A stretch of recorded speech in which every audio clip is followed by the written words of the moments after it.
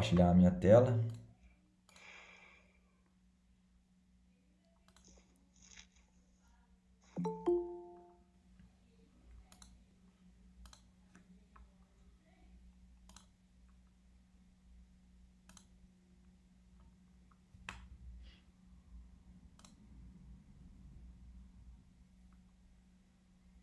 Vocês estão vendo minha tela aí, galera?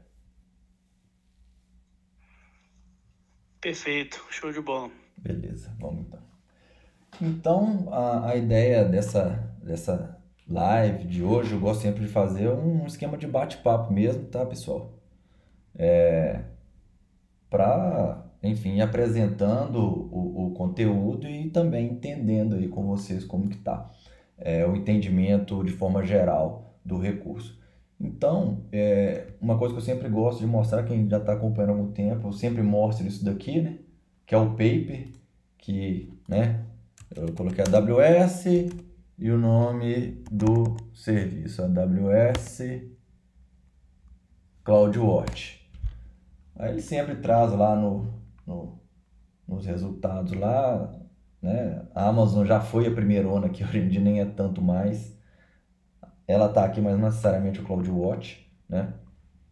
Então, CloudWatch, galera, ele é, vamos dizer, é onde você centraliza, onde a AWS centraliza ali métricas, logs, é a capacidade ali, é a ferramenta que você tem para monitorar, para observar o seu ambiente como um todo, tá? Então, como eu disse, ali você encontra métrica, ali você encontra log, ali você pode fazer filtro, ali você pode definir eventos baseados em métricas, é, desculpa, regras, né? Regras e eventos baseados né, em métricas, em é, criação de alarmes e por aí vai. Então, o CloudWatch é, ele traz muitos recursos aí para você ter uma observabilidade do seu ambiente, tá? Para você entender como que o seu ambiente está se comportando, tá? É, é, até um dos itens aí da de do Well Architected, né? Que é a parte de o pilar de de performance, né? O pilar de performance é algo que usa não é somente o CloudWatch, tá? Mas falando de AWS, é um, um, pilar que assim é profundamente, não vou dizer que é unicamente, mas profundamente CloudWatch. É, porque fora da, né, de terceiros aí você tem outras ferramentas de, de, de observabilidade aí, de, de APM, etc. Mas falando de AWS, é fundamentalmente ali o CloudWatch. Então aqui no paper do CloudWatch você tem a visão geral, mostrando aqui as questões relacionadas a benefício, ao que, que ele te entrega, tá? É...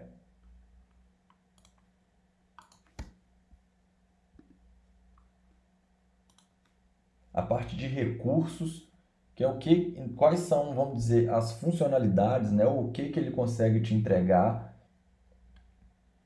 Métricas personalizadas, nós vamos falar um pouco sobre essas questões de métricas mais para frente. A, é, agregação, fazer análise de, de, de de logs, fazer análise de, de métricas, alarmes, né?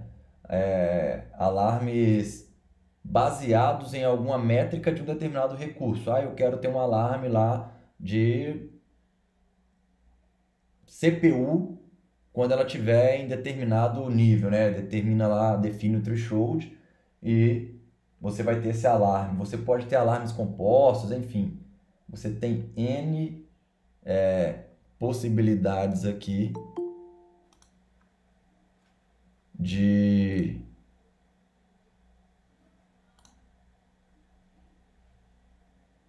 de ações, né, com o CloudWatch. Você tem os preços, é... o padrão do CloudWatch quando a gente fala de, de métricas é a cada 5 minutos, essas métricas são gratuitas, Agora, as métricas mais, é, mais detalhadas, a cada minuto, por exemplo, elas já têm um custo. Então, você pode é, fazer o estudo desse custo na parte de preço. E uma coisa interessante aqui é essa parte aqui de criar painéis. Você pode criar painéis personalizados ali do formato que você entender que é melhor para você, tá? Conceitos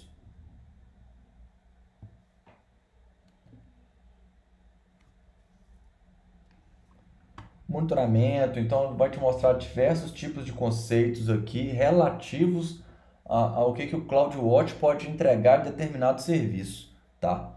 Por exemplo, quando a gente fala de, de containers, aproveitando que parou bem na tela aqui, você tem o Insights, tá? Que são né, os insights relativos ao SCS é, de uma forma geral. Você tem por exemplo, você tem é, métricas que você pode conseguir métricas no nível do próprio container, quanto aquele container, quanto aquele serviço está usando, tá? Ou métricas, quando é o SS baseado em EC2, você consegue ter as métricas da EC2, que é onde ele coloca para rodar o serviço. Então você tem sem servidor, né, que é a parte de serverless aqui, Análise de logs, e uma coisa que eu gosto sempre de falar dos serverless aqui, que muita gente, ah, serverless sem servidor, a tradução ao pé da letra é essa. Mas esse sem servidor aqui quer dizer que você pode abstrair essa camada de servidor, ou seja, você não tem que se preocupar com isso. Porque a gente sabe que no fundo, por trás ali, com certeza roda algum servidor. Por exemplo, ah, eu vou rodar o Fargate, pegar o próprio exemplo de container ali, que é serverless, é né? Você define o serviço, quanto você quer naquele serviço de memória, de CPU, e ele vai provisionar o seu container e vai rodar. Você não tem que se preocupar em qual servidor, como que ele vai fazer isso. Ele vai provisionar numa estrutura AWS, tem toda...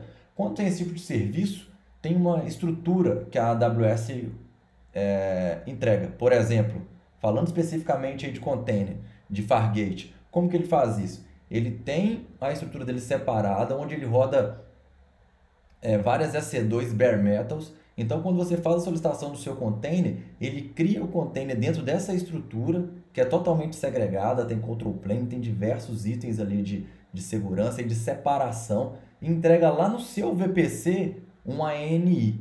ANI né, é, é, é basicamente a placa de rede. Para quem fez treinamento aí comigo aí já está acostumado com isso. Então, ANI basicamente é a placa de rede, né?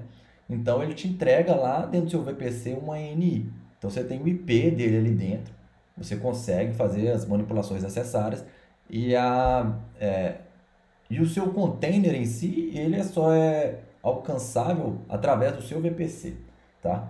Então, o que eu quis dizer, voltando aqui para não perder o foco, quando você fala serverless, por trás você tem um servidor de fato. Quando você roda um Lambda, você roda o API Gateway, tem alguém segurando ali. A questão do server é que você não tem que se preocupar com o servidor. Você não tem que preocupar em provisionar uma EC2, você não tem que se preocupar com o sistema operacional, está tudo abstraído. Com a capacidade, está tudo abstraído. Ele vai te entregar ali o, o serviço específico que você quer. Tá? Então, nós temos aqui esses conceitos para diversos é, itens aqui da. Eu esqueci de pegar água. Do CloudWatch, tá? Painéis, métricas, monitoramentos, alarmes, análise de logs que eu disse aqui, ó, que é um item bem interessante. Nós vamos falar um pouco sobre sobre logs de forma geral, tá? Detecção de alarmes e, anoma e detecção e alarmes de anomalias. Então, quando a aplicação está funcionando, mas ela está num formato em que não é o comportamento padrão. Não necessariamente ela está performando mais ou menos. É, ela está num formato, vamos dizer, diferente. Ela está ela tá se comportando de uma forma que ela não costuma se comportar. Tá? Então a anomalia é, foi até tive um bate-papo com um evento desses aí justamente sobre essa questão de, do entendimento de anomalia, que anomalia não necessariamente quer dizer que está com a performance ruim. Ele está se comportando de um, de um jeito que não é o costume, não é o padrão dele de comportamento, mas às vezes ele está performando como precisa, mas ele está com um desvio no comportamento ali, tá? É... Uma coisa que eu sempre falo, principalmente para quem vai fazer a prova, perguntas frequentes, principalmente aí é, dos serviços que mais caem falando de Solutions Architect Associate, né? EC2, VPC, na Practitioner também, então fax aqui. E pode parecer que não, mas toda dúvida que você tiver em relação ao serviço, cara, vem em FAQ aqui que tem muita coisa, tem muita resposta para vários tipos de questionamentos em que você já pode é, descobrir aqui a limitação ou até um workaround se for o caso de é, algum item, alguma necessidade que você tenha. Então aqui no, nos FAQs aqui você tem muito, muito, muitas respostas de fato de possíveis dúvidas, tá? Então tivemos aqui um overview rápido aqui do, do CloudWatch, tá? É... Que, que eu fiz? Eu startei uma SC2 Vou até nela aqui.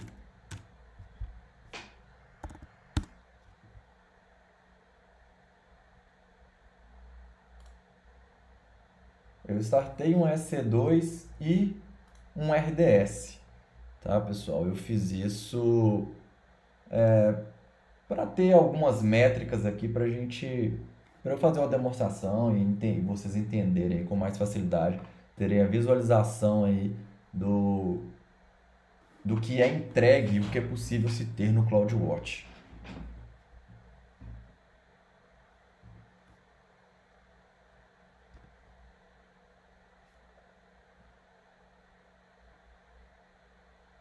Eu estou vindo aqui primeiro no serviço, pessoal. Primeiro mostrar a C2 de fato aqui porque, de forma geral, eu não vou dizer que é 100% do serviço, que eu não conheço todos os serviços, mas na maioria dos serviços você tem um painel do CloudWatch aqui integrado, tá? Para você visualizar aquele recurso em si. Então, quando você tem, por exemplo, você está lá no Lambda, você clicar no Lambda, você consegue visualizar lá no painel do Lambda, daquele Lambda em específico, alguns itens de monitoramento dele, tá? Então se a gente vem aqui, ó, monitoring, ele mostra o, os, as métricas daquele recurso em específico, tá? Isso vale para Dynamo, isso vale para containers, isso vale para Lambda, isso vale para, como eu disse, vários serviços que eu conheço, eu não vou dizer que são todos, eu acredito que seja, tá? Você consegue ter a parte de monitoramento ali. E visualizar métricas daquele recurso, ou seja, nesse caso aqui nós vamos ver as métricas dessa EC2 em específico.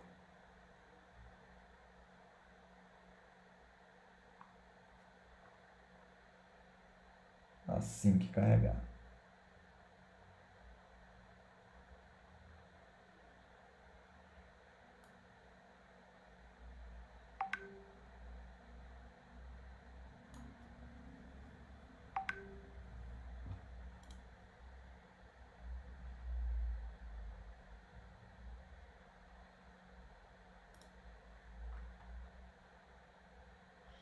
Então, beleza.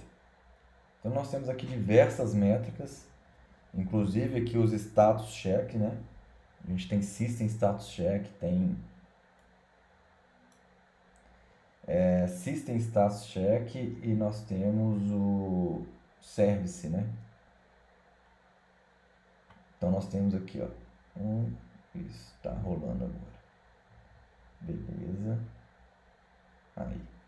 Então nós temos aqui, são várias métricas desta EC2 em específico. Créditos de uso de CPU, porque ela é uma T, né? é uma T2 micro, então tem a questão aí de crédito de CPU. Leituras de disco em byte, network in em byte, network out. Então, disk operations. Então, aqui é, é são os IOs, né? Aqui de leitura naturalmente. É, enfim, várias métricas aqui do desse recurso, dessa EC2 em específico. Como eu disse, se eu clicar aqui em Manage, ele vai lá para o pro, pro CloudWatch em si. Então, o que eu quis mostrar aqui é que se tivessem outras EC2 aqui, é, eu clicando em cada um e vindo em monitoramento, ele vai mostrar as métricas é, relativas àquele recurso, tá? Então, aqui tem vários aqui. CPU, utilização de CPU, que é o primeirão aqui, né, que é muita gente olha, e uma pergunta que eu sempre ouço, né, mas não estou vendo memória, não estou vendo utilização utilização em volume, tá? Do, do, do EBS, que é, o, que é o HD. Essas métricas, algumas dessas métricas, é, são, são métricas customizadas.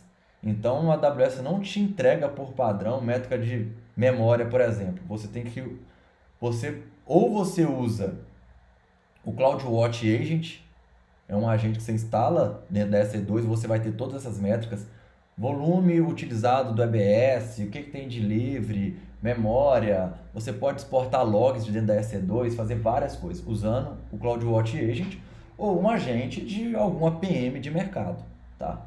Então você tem aí Dynatrace, você tem aí New Relic, você tem Site 24 por Service, tem vários APMs aí. Então existem as métricas que são padrão, essas aqui são as métricas padrão de EC2 e existem algumas que são customizadas. Você consegue ter através de uma customização. Você pode customizar o seu CloudWatch Agent, por exemplo, para enviar determinadas métricas. Por exemplo, eu quero ver somente eu, é, através do CloudWatch Agent eu quero ver somente métrica de memória. Não, para mim, o espaço de HD não me interessa. Eu não quero ver, eu não quero exportar logs, eu quero somente métrica de memória.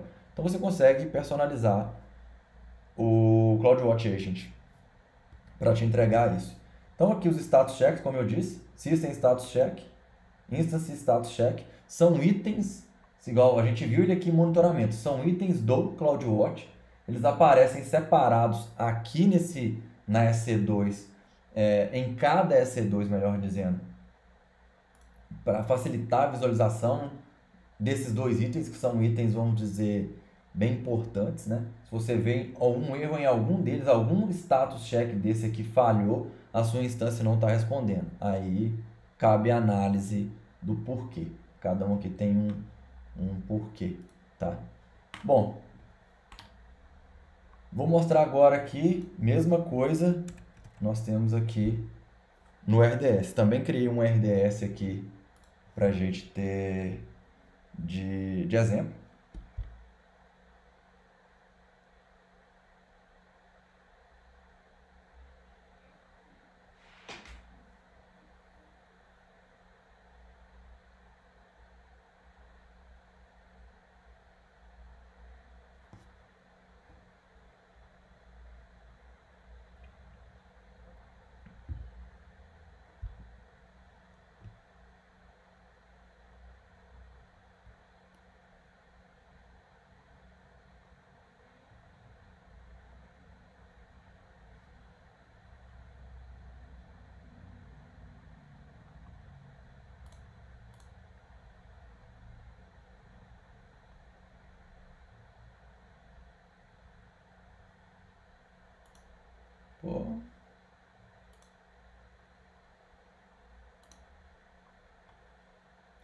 Beleza.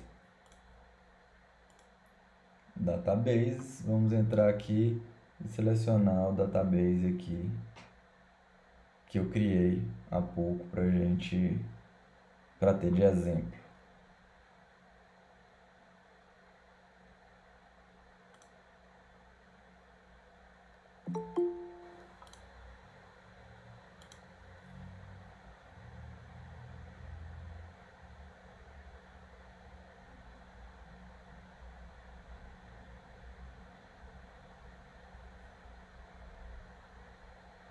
Novamente, nós temos aqui a aba, a aba de monitoramento.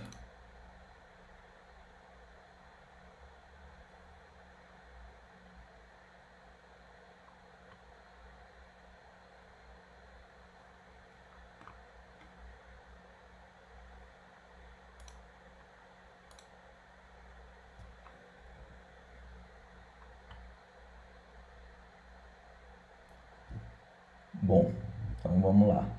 Novamente, essas aqui são as métricas dessa instância de banco de dados, né?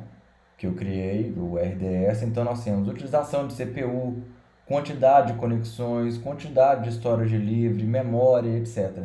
Então, essas aqui são as métricas que o CloudWatch entrega por padrão desse recurso, que é o RDS. Nesse caso aqui, esse RDS em específico. Então, ele mostra um disso aqui para cada um dos seus recursos, tá? Quando a gente vamos então agora aqui para para o o CloudWatch em si, né? O CloudWatch de fato. Então, a primeira aba aqui, o, o, primeiro item aqui, né, são os dashboards. Então, você pode criar, como eu disse, é, dashboards aqui personalizados. O que, que eu quero dizer com esse personalizados? Por exemplo, para você é, é importante para você ver, para você entender como a sua aplicação está se comportando. Por exemplo, é, quantidade de é, qual o uso do CPU de um EC2 ou de um autoscaler, enfim, vamos colocar que é um EC2. O uso de CPU de uma EC2 é importante para você saber. A quantidade de conexões no RDS também é importante para você saber quantos é, hosts saudáveis você tem no load balancer, é importante você saber. É, e também, vamos pegar um outro item aqui, quantos IOPS, né, quantos, quantas operações de, de in-out, né, de I.O. você tem na, no EBS daquela EC2. Com isso você consegue entender como que o seu ambiente está performando. Então você consegue colocar tudo isso num único lugar. Você vai abrir o dashboard, olhar e falar assim, cara, o meu problema está aqui, tá vendo? Ó, sei lá, o CPU tá baixo, mas tem conexão demais no banco aqui, esse banco pode ser o gargalo, enfim. Você consegue montar para você visualizar.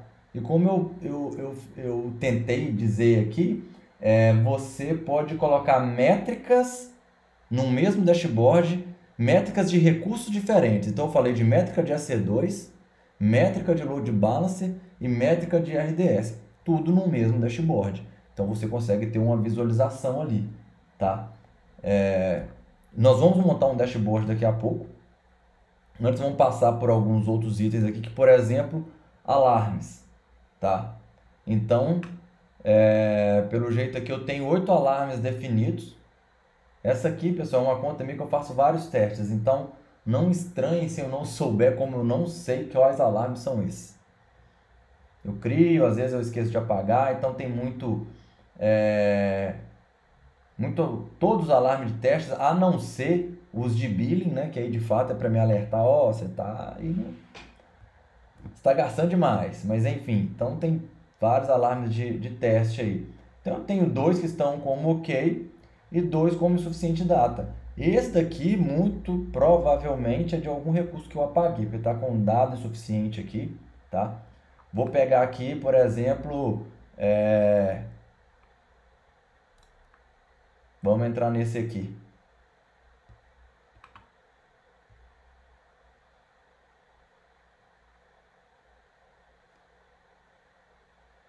Então, definir aqui, ó, um um valor de threshold, né? Então, se chegar nesse vermelho aqui, ele vai disparar o alarme, tá?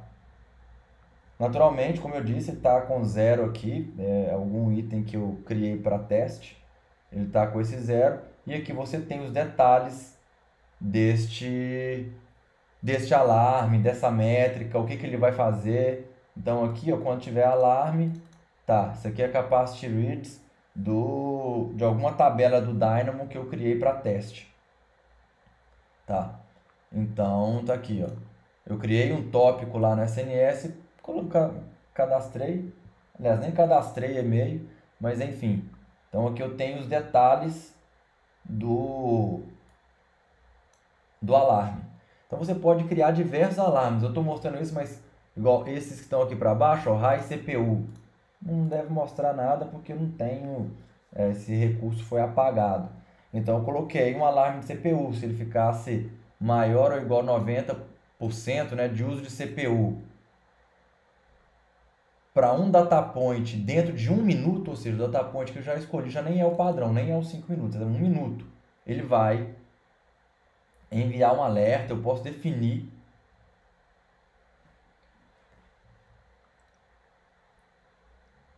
é, outras ações adicionais, como eu até coloquei aqui, ó, uma ação de auto-scaling, por exemplo, e uma ação de notificação.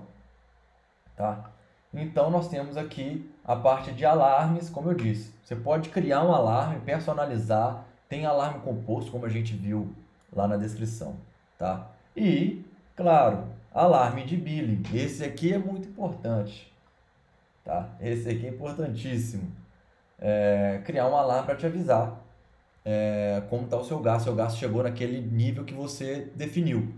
É, esse cara aqui, esse alarme de, de billing, ele de fato tem uma métrica, na hora que a gente for na parte de métricas, vocês vão ver que tem uma métrica de billing, tá?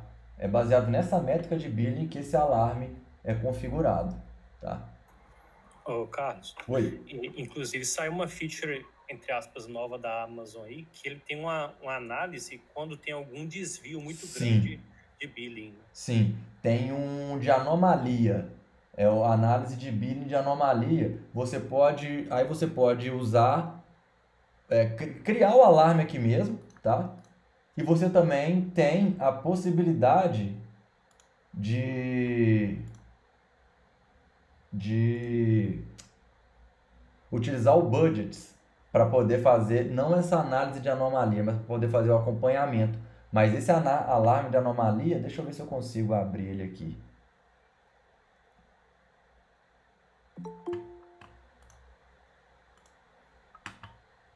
Aqui, ó.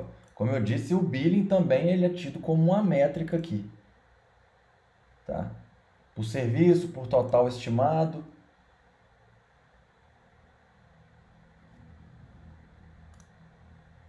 Pegar esse cara aqui. Select Metric. Então você tem aqui, ó, estático, que é você definir, olha, é tanto. Como eu tenho aqui, é 10 dólares, 20 dólares, é tanto. Ou anomalia. O que, que essa anomalia vai fazer? Só título de exemplo. Eu tenho um padrão de usar, gastar um dólar por dia. De repente, esse um dólar por dia foi para 10 dólares. Tá normal. Ele tem um histórico, ele vai analisar aquilo, olha, isso aqui está fora. Ele vai me enviar um alarme baseado nesse desvio, nessa anomalia, não necessariamente no, como eu disse, o valor fixo. Então, basicamente, o que faz aqui é selecionar a anomalia. Isso não, não é só para billing, tá, gente? É, o, o amigo citou aí, a gente falando aqui de billing, mas também tem para outros recursos, tá? Continuando. Logs. Vou passar rápido para a gente não demorar demais também. Passar um pouquinho mais rápido. A gente tem aqui, galera, logs é um item assim muito importante, assim como métricas e tal, mas é um cara que te ajuda é, a entender o que está acontecendo também com o seu serviço. Às vezes, beleza, a métrica está ok, mas, por exemplo, é, o container não está ficando healthy, não está ficando saudável, ou a EC2 não está é, ficando saudável também para o load balancer. Eu estou dizendo esses recursos diretamente né, do serviço da AWS. É, mas você pode colocar, como eu disse, logs de sistema operacional e tal mas eu falando especificamente dos recursos. Por exemplo, um lambda, beleza, executou um lambda, mas é, foi, foi chamada, feita a execução do lambda, eu consegui ver lá na métrica que o lambda foi executado, mas por algum motivo eu não tive o resultado que eu esperava. Você pode, o seu lambda pode, não só pode, como vai colocar, enviar os logs para cá.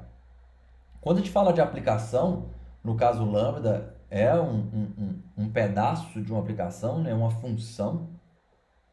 você deve, não só pode, como deve, é, instrumentar e fazer com que esse Lambda coloque os logs é, para você entender o que ele fez, tá? Eu estou citando isso que eu já passei por situações onde não se tinha um entendimento do que o Lambda estava fazendo inicialmente, tá? É, ele estava executando, beleza. Então eu via lá, realizou a chamada, chamada o ID da chamada, é, ok. E a saída dele que era um ok, era um sucesso, não deu erro, beleza. Mas o que foi feito ali? Qual foi o processamento? Que, qual, qual que é a operação que ele realizou? Ele recebeu que dado? Ele devolveu que dado? Para quem? Tá? Então, os logs com o, o CloudWatch Logs aqui, com os logs groups, eu dei este exemplo, mas são vários e vários logs, tá? Todos os serviços AWS, praticamente, vão colocar os logs aqui. Eu vou até mostrar alguns que eu já dei uma olhada antes, quais que tem logs aqui ainda, que não são muito antigos ou qualquer coisa do tipo, para eu mostrar para vocês. Então eu separei aqui alguns para mostrar. Deixa eu carregar aqui. Não sei o que acontece toda vez que eu começo a apresentar minha tela fica desse jeito.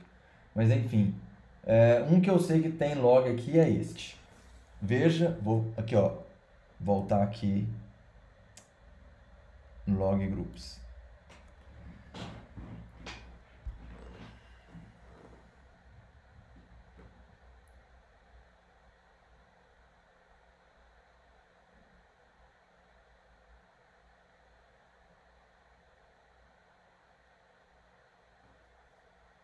Então, aqui em log groups, a gente tem os grupos de logs dos serviços. Então, assim que aqui nós vamos ver, nós temos lá o log do datasync, nós temos o log dos, dos lambdas aqui, ó. Então, esse caminho aqui, esse nome aqui é o log, veja, AWS barra code build barra build project fulano, code build fulano e assim vai. Code build star, code build teste. Então veja que ele é separado aqui, por isso que são log, é, são log groups, são grupos de log, igual aqui, ó, lambda, e aqui a função lambda em si, data sync e por aí vai, tá? Então vamos entrar aqui no data sync, nós vamos ver mais para baixo aqui daqui a pouco, né? SageMaker, tem alguns aqui que nós vamos entrar. Vamos ver aqui os logs de data sync que eu tenho. São poucos, são alguns testes que eu fiz, mas eles ainda estão vivos aqui. Né? Eles não foram apagados porque eles foram feitos aqui, ó. Foi feito um mês atrás. Então eles estão aqui. Vou pegar aqui. Veja que é, o mais novo fica mais em cima.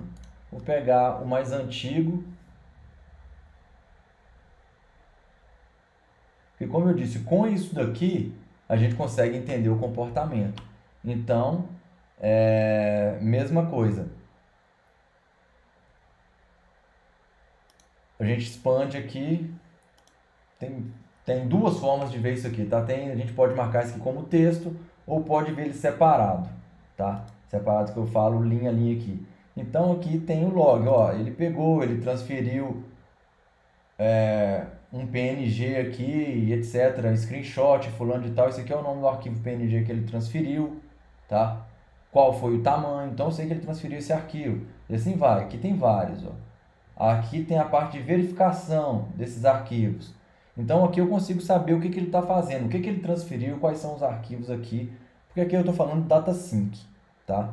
É, rapidamente, para quem não sabe, data sync é o serviço da AWS para você sincronizar dados é, Pode ser de on-premise para AWS, pode ser entre, AWS, entre recursos da AWS, entre S3 e EFS, por exemplo, entre dois S3, dois S3 eu não sei, mas dois EFS diferentes, um NFS on-premise e AWS, enfim, tem é, várias possibilidades aí. Então vamos lá, vamos pegar agora o, o último, né? Mesma coisa aqui, ó.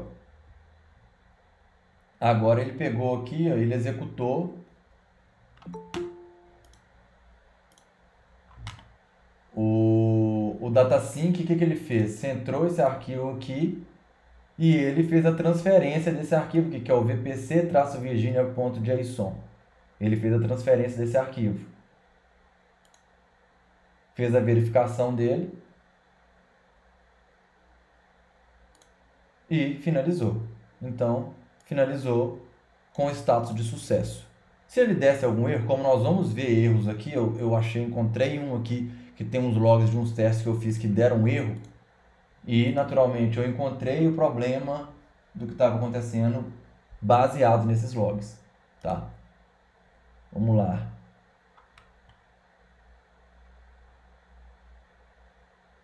Outro que eu sei que tem itens aqui é esse do SageMaker. Esse Training Jobs aqui, um teste que eu fiz de SageMaker, que é para quem eu vi que o Dan, eu acho que o Daniel, não sei se ele tá aqui ainda, tá, tô vendo ele ali, que é para IA, né, para inteligência artificial, para treinar seus modelos aí e tal. Eu fiz um ah, teste aí para poder entender um pouco, né, desse desse serviço só para eu ter uma visualização, porque eu não entendo, não tenho um, um background aí de IA, mas eu queria ver o que que acontece, que que é treinar um modelo, enfim, como que é usar o SageMaker para poder fazer isso. Então eu executei novamente aqui, ó. É...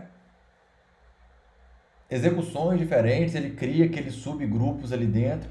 Então ele tá aí, ó. Running the full environment. Então ele vai com certeza mostrar aqui, ah, beleza, aqui é muito vazio, muito pouco. Mas aqui já, já traz dados que são mais interessantes. Configuração de tal lugar com Python 2.7 e por aí vai, tá? processo 1, né? E por aí vai. Aqui, ó, deu um erro. Pronto. Encontramos o erro. Unable to read data channel. Isso aqui com certeza eu, eu um de, eu acho que o último naturalmente, né, o, o último que eu fiz, ele funcionou e eu fui filtrando, entendendo os erros baseados aqui nesse no, no, no nos logs, tá? Então aqui ele gerou esse erro, name to read data channel e etc. E por aí vai, tá? Vamos ver se pegar mais um outro aqui.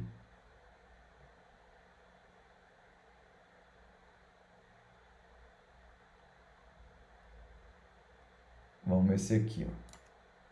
Que é da família Transfer. E essa família Transfer aqui, basicamente, é SFTP, é, baseado em S3, enfim, transferência de, de dados aí. Ah, eu, eu falei que ia mostrar o outro que deu certo, né? Vamos voltar nele lá. SageMaker. Depois eu explicar essa coluna retentions ali. Vamos ver se eu tive, se eu corrigi até ter sucesso ou se eu parei no meio do caminho.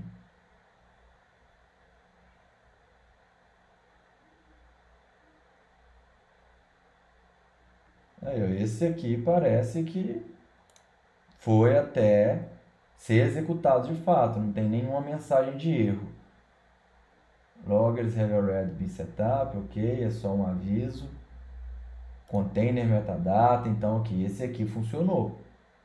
Então fui entendendo o que, que ele estava falando lá nos logs, fui ajustando, ó, processo 59 e assim vai.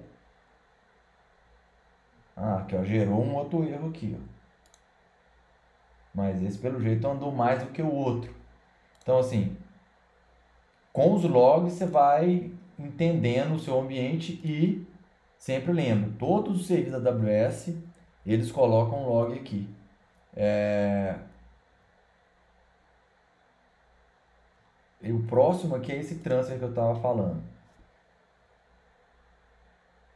EC2, lembrando que EC2, ou serviços em que os logs ficam internos, no Elastic Beanstalk, por exemplo, que é baseado em EC2, mas ele te entrega, né, vamos colocar um web server como serviço, ele já instrumenta para poder fazer isso automaticamente, tá? Então, quando você tem um Elastic Beanstalk, mesmo sendo baseado em EC2, por já ser como serviço, a AWS já instrumentou para mandar logs para cá. Eu não tenho nenhum teste de Elastic Beanstalk nessa conta para poder mostrar para vocês, tá?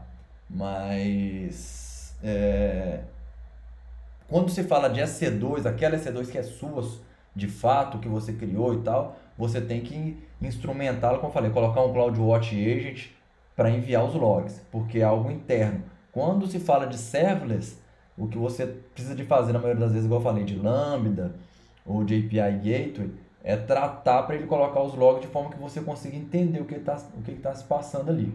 Mas vamos lá. É, então, iniciou aqui, né? Então, aqui, ó, 18, 58, 03, 06, 24 e assim vai.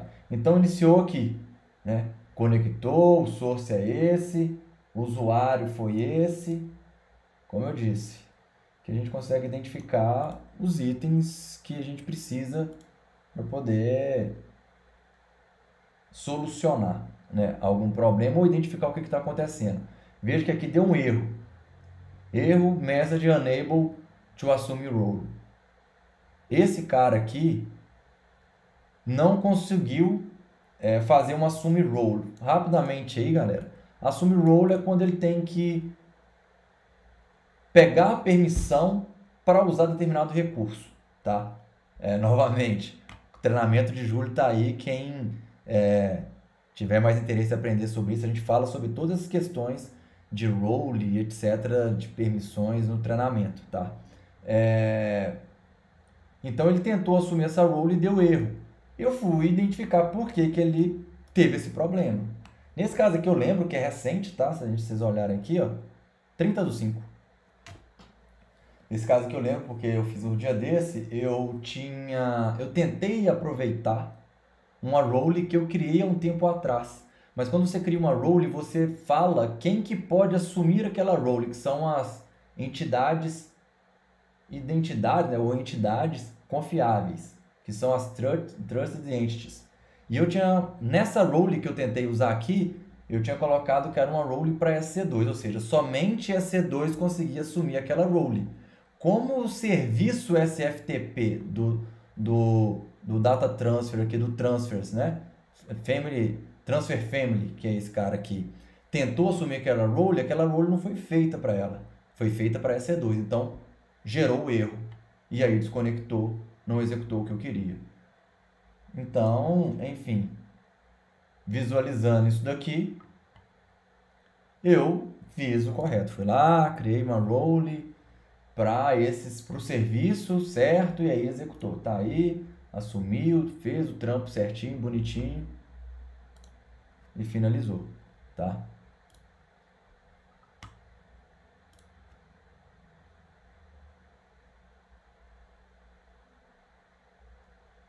Essa coluna aqui, pessoal, coluna retention, a gente pode definir um período para ele manter os logs, tá?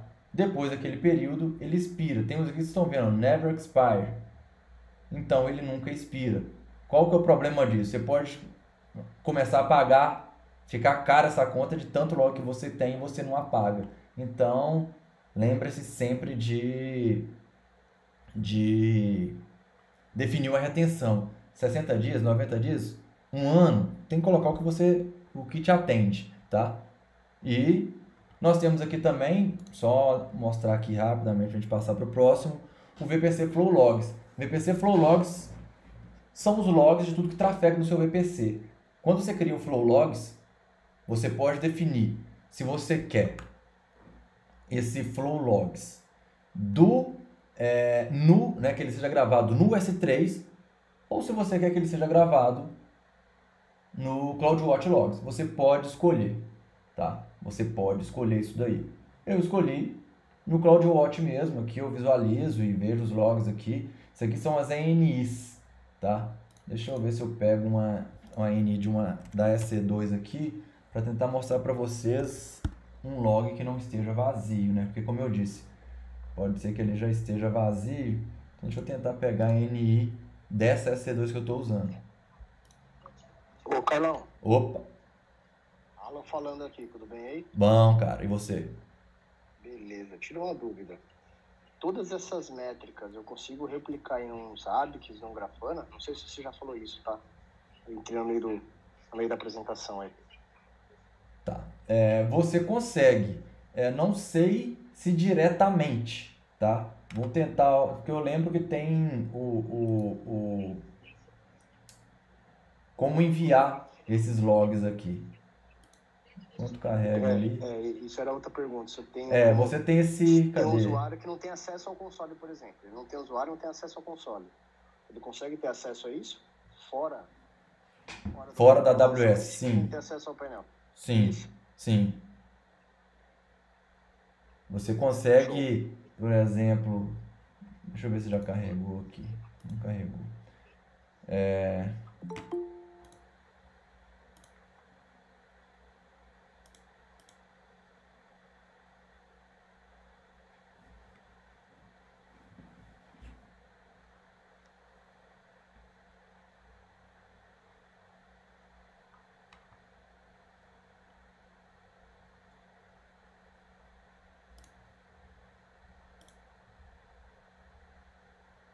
Vendo? Você pode criar um Metric Filter ou você pode fazer uma- um subscription para um Elasticsearch, para um Kinesis, tá?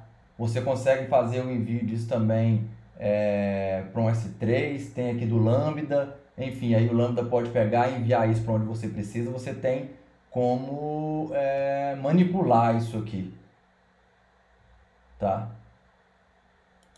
É, o Carlos, só completando também que eu tive experiência esses dias para trás, foi o processo inverso, né? Ao invés da AWS enviar para algum lugar, é, um serviço intermediário puxar da AWS via API. Uhum. Também chega a funcionar. Tem um, por Grafana, tem um serviço que chama CloudWatch Exporter, que é um container que comunica com a API que o CloudWatch provê, né? Ele faz uma consulta e joga para o Prometheus, que o Grafana consegue consultar, né? Então tem essa abordagem também. Ah, bacana. Essa, essa integração aí, usando o container, eu não conhecia, não. O bom é o API, é só ficar um pouco de olho nas suas limitações de uso de API, né? É bom sempre ficar de olho, porque senão você pode tomar uns blocos lá, né? É, a quantidade de request que ele faz É. e até Mas- mesmo se você tiver, por exemplo, é, o próprio Gardari habilitado, Gardari pode entender aquilo ali como algo anormal e te, é, É. não necessariamente bloquear, né? Mas ele pode gerar um alerta, e etc. Hum. Aí, ó, o, Car- o, o, Carlos aí até enviou, galera, tá no chat aí, integração com os Zabbix aí, ó.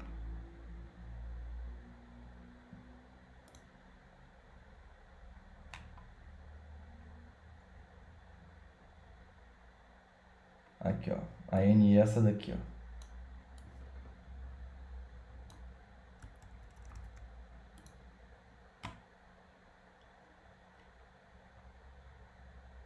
Você consegue fazer análise desses logs aqui ou enviar para outro lugar, tá? É,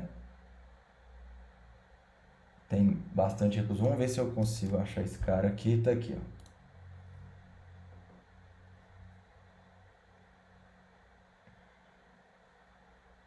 Então, aqui é só para mostrar aqui que o VPC Flow Logs, ele vai te mostrar aqui, ó.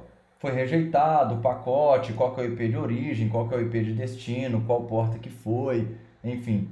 Isso aqui é o VPC Flow Logs, ou seja, tudo que passa no seu VPC, tá? Você pode habilitá-lo para uma subnet, você pode habilitá-lo para um ANI específico, você pode habilitar para o VPC todo, tá? Então, galera, VPC aqui, ah, desculpa, o, o, o, a parte de log do CloudWatch tem bastante itens, tem bastante recurso, tá?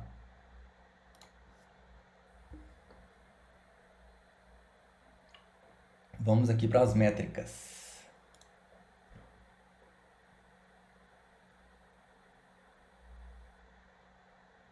Vamos lá. Então, é, esses itens aqui, cada retângulozinho desse aqui, é o que a AWS é o que é chamado de namespace. Então, namespace é um serviço, de forma geral. Quando você começa a usar métricas customizadas, métricas customizadas, ele cria um namespace separado para cada tipo de métrica customizada, tá? Então aqui é métricas do, do backup, métricas do autoscale, do CloudFront, do FS e por aí vai, cara. Tá? É... Dúvida.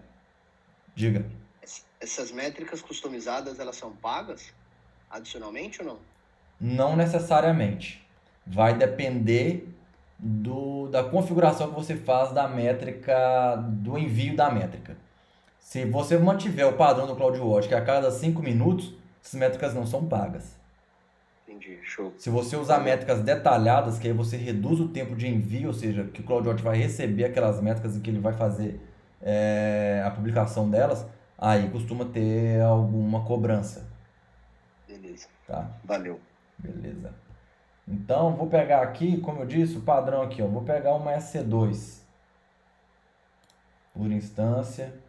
Então, aqui nós vamos ver aquelas métricas que nós vimos lá no painelzinho lá da SC2.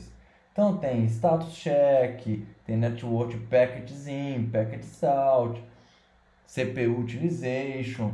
E você tem, pessoal, aqui, ó, o tempo. Ah, eu quero ver do último dia. Vai ter um pedaço em branco aqui, porque eu não ligo essa máquina direto, tá vendo? Dos últimos três dias. Na última semana, eu posso vir em Custom também e selecionar. Eu quero as seis últimas semanas. E lembrando que o tempo de agregar, de, de agregar isso daqui, ele vai variando de acordo com o time, tá? Eu não me lembro de cabeça, mas, por exemplo, durante o dia ele vai ter a métrica de 5 em 5 minutos. Passou o dia, ele vai agregar isso de hora em hora. É só um exemplo, eu não me lembro de cabeça, tá? Ele não vai manter sempre 5 em 5 minutos a, a vida toda. Ele tem os tempos. Então eu peguei aqui as últimas 6 semanas. Eu posso pegar os últimos 3 meses. Os últimos 6 meses. Então ele vai mostrando, veja, ele vai sempre mexendo aqui. Porque como eu falei, essa é a instância que eu ligo, desligo esporadicamente, de acordo com o teste, etc. Tá? Não é algo que fica ligado direto. Então eu tenho, beleza, essa métrica aqui, peguei de AC2. Vamos voltar aqui em All. Vamos pegar, por exemplo, de S3. Não posso pegar métricas de S3 também. Aí você vai ter tamanho, olha lá, o tamanho do bucket, quantidade de objetos, bucket size, é, bytes, ah tá, está repetindo porque é outro, outro, outro bucket, tá? É, vamos fazer um filtro aqui, só para não ficar repetindo o métrica. Essa métrica aqui só tem dois, que beleza. Mas enfim, não vou filtrar então, vamos manter aqui. Tem várias métricas. Qual, quanto de você tem de storage no standard, quanto você tem de storage é... número de objetos e bucket size. Nesse aqui só tá esses dois, não tá o restante. Eu acho que é no análise. Ah, tá, tá aqui. Storage type, é, tá certo tem essa coluna aqui que é storage type, então você pega o tamanho do bucket de acordo com o tipo de storage. Você tem o standard, né, standard, standard storage, você tem o IA, né, o infrequent access. Você pode pegar a métrica olhando todos os tipos de armazenamento, importando aqui somente, né, o, a métrica final, ele faz essa, essa, essa soma, tá? Então você consegue, ó, os que estão no Glacier, S3 over Glacier, S3 Object Overhead, Glacier Storage e por aí vai, tá? Estou mostrando só algumas aqui, mas como eu disse, tem todos os serviços aqui, CloudFront vai ter métrica, FS tem métrica, SNS tem métrica, todo serviço que você vai usar, ele vai postar uma métrica relativa a ele. Load Balancer, tá? E baseado nessas métricas, nós vamos fazer aqui em cima um dashboard, beleza? O Streams aqui é para você enviar essa métrica para algum local, tá? Vou passar alguns aqui que eu quero explicar um pouco mais aqui sobre o eventos aqui e depois a gente monta o dashboard aqui porque já são 9 horas. Então você pode é, fazer o streaming dessas métricas para algum lugar, tá?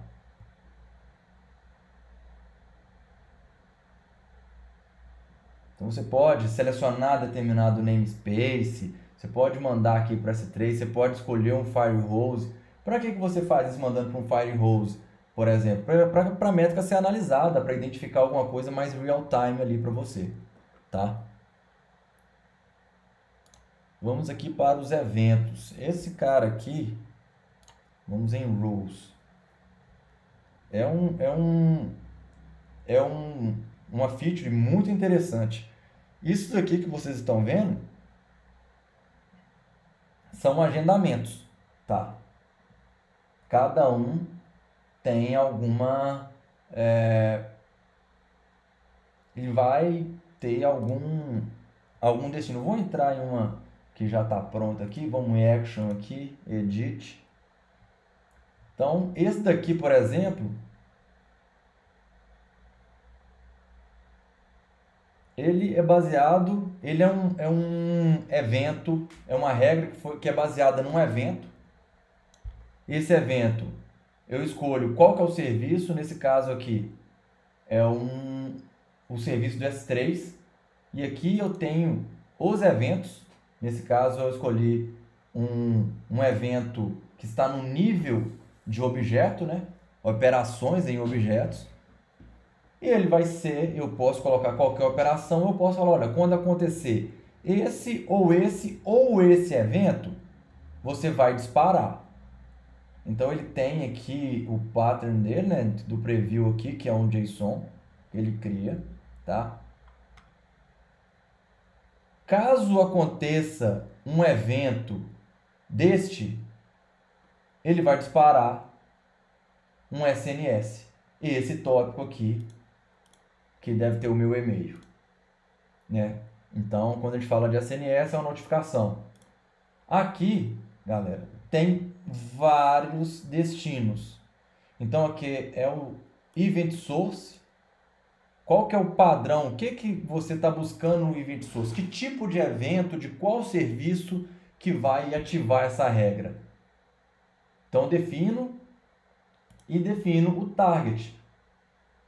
Então, aqui ó, você pode escolher N itens. O que, que eu gosto de mostrar muito? Lambda. Eu posso escolher um lambda, então, exemplo. Toda vez que tiver uma, uma, um evento deste, de um desses tipos, vai disparar um lambda que vai fazer, sei lá, vai analisar o arquivo, vai deletar o arquivo, vai mover o arquivo, vai fazer uma ação ali em cima. Então eu posso escolher para ser um, um, um, lambda, posso ter um tópico SNS. Eu já fiz algumas automações com SSM usando o run command, por exemplo. Entrou, aconteceu determinado evento que eu filtrei aqui, ele dispara um run command que vai executar uma outra ação.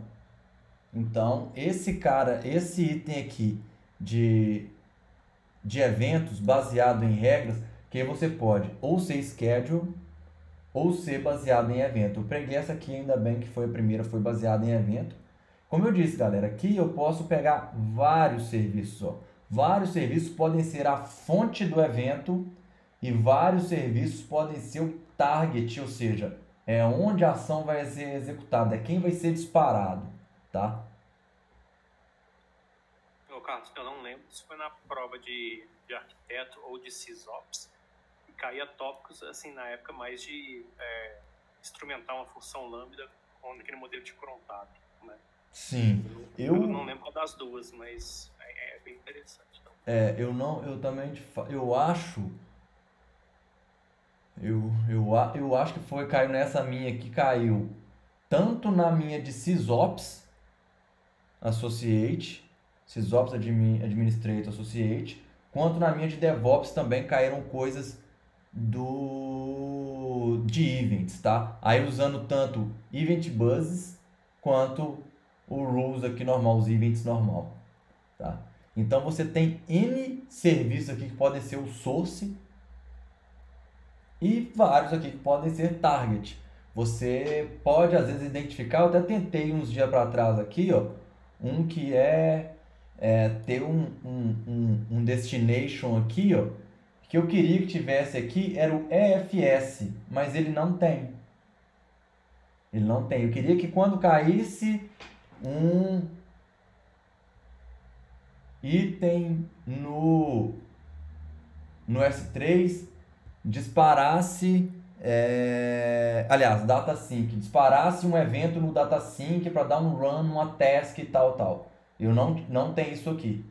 Ele tem vários, mas vejam que é mais limitado. Mas enfim, você consegue ter sources de eventos e destinos, né, que aí vai trigar, ou seja, se acontecer isso daqui, você vai disparar esse cara aqui. Beleza? Bom, então como eu disse, esse aqui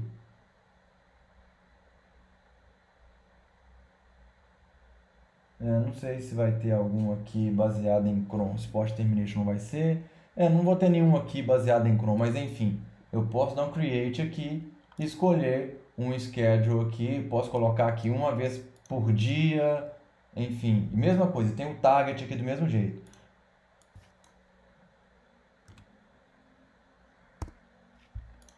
Todo dia você vai executar isso. Ou você pode definir uma expressão cron aqui, tá? E aí, novamente, você já tem vários aqui que é a mesma coisa lá. Então você pode definir, ah, vou dar um exemplo de, ah, só que está em outra região, vou ter que trocar de região. Vamos continuar aqui. Eu tenho um lambda que todo dia ele roda para verificar se a minha EC2 está ligada e desligar, porque essa aqui é uma conta de teste. Então isso eu fiz aqui no events, tá? Event Buzz você pode colocar, isso aqui é bem legal, você pode compartilhar isso daqui entre contas, galera. Então, uma conta pode falar com outra conta através de um, de um barramento, né? Event Buzz é um barramento onde vai colocando os eventos ali, determinado evento pode fazer uma trilha. Então, isso aqui é bem legal. Tá vendo? AWS Account, Organization, isso aqui é bem legal. Inclusive na prova de DevOps Engineer, Daniel estava me perguntando, cai sobre, na minha caiu sobre isso aqui, tá? Event Buzz. Isso é bem, bem interessante. Bom, sem mais delongas, vamos criar um dashboard. Criar um dashboard não tem nada demais, galera. É um create. Você vai definir um, um dashboard, um nome. Live. Opa. CloudWatch.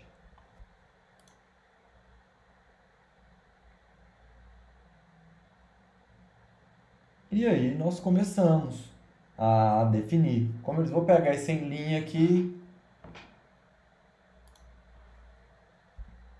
Vou pegar a métrica, tá? Você pode fazer um widget baseado em alguma query de logs, mas aí tem que ter um tratamento dos logs, tá? Do, no CloudWatch Logs Insights. Vou manter em métricas. Beleza. Qual métrica? Vamos lá, vamos manter aqui. Vou pegar esse C2, vou fazer um padrãozinho aqui. CPU Utilization. E eu vou colocar um outro que é legal aqui também, que é o Credit Balance.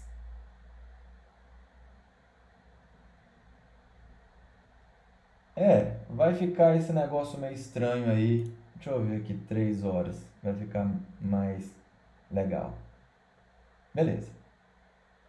Estou colocando esses dois porque é outra coisa importante que, é, bom, já vi situações em que as pessoas não analisaram os tipos de métricas que vão colocar no mesmo gráfico, tá? Por que, que eu estou colocando esses dois no mesmo gráfico? Porque esses dois são do tipo de percentual. Se você pega um que é tipo percentual e coloca no mesmo gráfico um é tipo numérico, de fato, exemplo, bytes, cara, o gráfico não vai ficar muito legível, saca? Então, vou manter, vou colocar esses dois aqui. Lembre-se de dar um save, tá, galera? Então, e aqui eu posso ajustar isso aqui. Eu posso definir um nome, é, live, tá aí. Então esse vai ser o nome deste, deste gráfico meu aqui. Dá um save. E vou adicionar um novo aqui. Adicionar um novo, olha só, vou pegar agora um numérico. Vou pegar mais três aqui.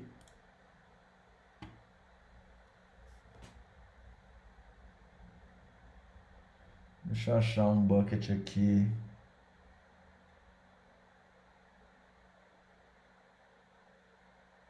Aqui, esse aqui tem algumas coisas.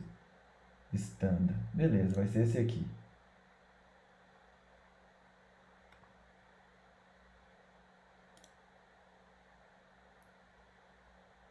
Vou colocar esses dois aqui.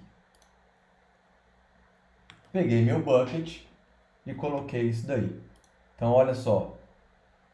Ele tem 7.71 GB e 46 arquivos. Veja que esse aqui é Number of Objects.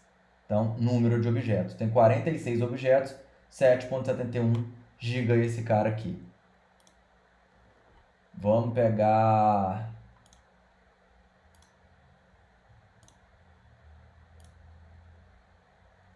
um RDS aqui, que eu criei ele para isso. Vamos falar aqui sobre Vamos ver esse aqui. Hum, Burst Table Balance, CPU Crash, beleza. Esse não tinha visto ainda. Database Metrics, esse aqui que eu quero, de fato. É, eu quero saber aqui Database Connections. Aqui, ó, Database Connections. Se eu pegar CPU, novamente, um está em percentual e o outro está em número de fato, né? número é, absoluto. Vou tirar esse cara aqui.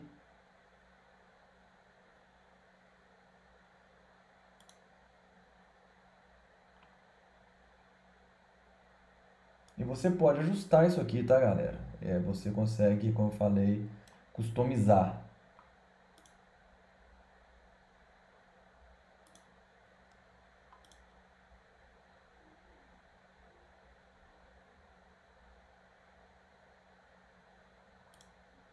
Vamos adicionar mais um.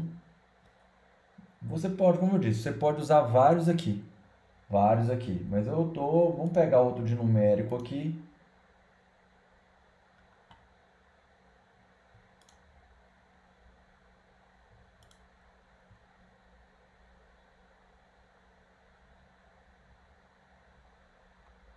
Ah, não vou pegar de bilho, não vou pegar outra coisa.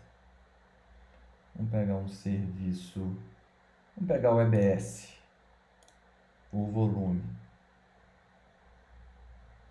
Então vamos aqui, ó, volume read ops, volume write ops. Esse é bem interessante para ser esse tipo. Create. Então aqui, como eu disse, isso aqui, pessoal, é só um exemplo. Então vamos pensar que isso daqui são as métricas que você consegue entender se a sua aplicação está performando bem, qual que é o estado dela, qual que, como que ela deve estar tá se comportando. Porque é, eu peguei métricas de serviços diferentes. Então, olha só, aqui eu consigo saber com relação né, a, a... Deixa eu até reduzir esse range aqui, tá muito confuso.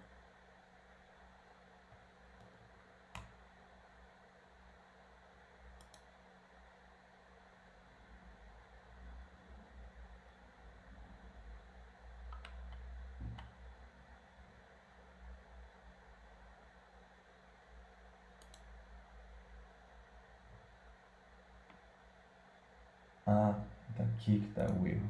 Tá aqui.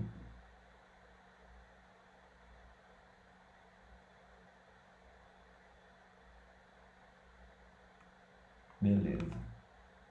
Eu vou colocar um dia, porque esse aqui do bucket vai ficar com tracinho. Três horas ele não pegou métrica. É, precisaria até um pouco mais aqui. Mas enfim. Querendo colocar menos para fazer sentido para os de cá. Mas enfim, o que eu quero mostrar é justamente que você pode combinar é, serviços diferentes para montar aí o seu o seu dash para ficar num formato que você entenda o que a sua aplicação tá, como ela está, qual que é o estado dela. Tem alguma coisa que tem, tem alguma métrica que está sendo aquela que compromete? Ah, eu estou vendo aqui o CPU da instância A está ok, o EBS dela eu coloquei read write aqui, porque os IOPS de forma geral é a soma desses dois, é o que ele vai te entregar. Exemplo, o EBS tem 100 IOPS, que são 100 IOs por segundo. Então você tem que somar esses dois aqui para ter quantos IOPS de fato estão existindo, né? Então, você tem uma visualização dos recursos. Ah, não, tá aqui, ó, o CPU tá OK, mas está estourando o IOPS. Não, mas aqui tá tudo OK, mas aqui, ó, o servidor de banco, o RDS aqui, ele tá com CPU muito alto. Ou se você colocou lá aquela parte de storage também que tem do RDS, enfim, tem vários itens aqui que você pode colocar, você pode construir o seu dashboard de uma forma que você consiga entender. Eu coloquei vários é, recursos né, de vários serviços diferentes, mas se você entende que o melhor é você visualizar separadamente, você pode montar um dashboard. Exemplo, ah, eu acho melhor, mano, olhar a métrica de CPU de todas as minhas EC2 ao invés de ter separado. Ok, monte um painel chamado, sei lá, é, EC2. Coloque as métricas das EC2 que você julga importante. Um painel para RDS, um painel para S3, enfim. Você pode montar e customizar isso aqui no formato que você achar que é mais interessante para o seu ambiente, para a sua aplicação. Não tem uma regra aqui para poder falar assim, olha, o certo é montar assim. O certo é você ter as métricas que você precisa de forma mais imediata, né, mais centralizada, para você entender como que tá, o seu ambiente está se comportando. Beleza? Bom, o que eu queria compartilhar mais aí com vocês, galera, era essa, essas métricas aí, é, esse dashboard, enfim, essas funções que existem no CloudWatch, que são, é, para quem está para fazer prova aí, são, são itens bem interessantes aí, tá? Se alguém quiser complementar com alguma coisa aí, fiquem à vontade.